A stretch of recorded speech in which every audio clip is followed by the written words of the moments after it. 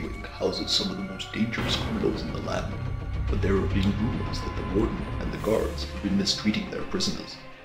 The warden invites you to see for yourself the real conditions experienced by the inmates.